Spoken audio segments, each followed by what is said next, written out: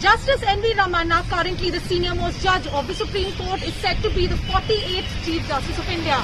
Current incumbent Chief Justice S.A. Bobde has today morning sent the recommendation to the Law Ministry and also sent a letter of recommendation to Justice Ramana's office.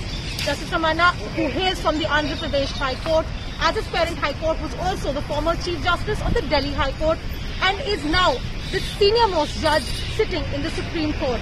Justice S.A. Bobde, the incumbent Chief Justice, is set to retire on April 23rd.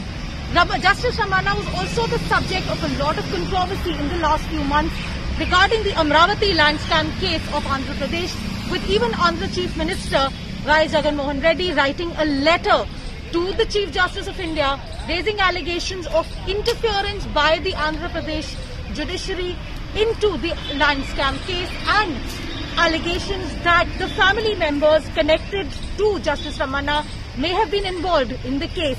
After an in-house inquiry, these allegations have now been dismissed, with the Supreme Court issuing a statement this afternoon that the in-house inquiry has dismissed all allegations that have been raised by Y.S. Jagan Mohan Reddy. This clears the decks for Justice N.V. Ramana to now become the 48th Chief Justice of India in April. In New Delhi, this is Anisha Mathur for India Today.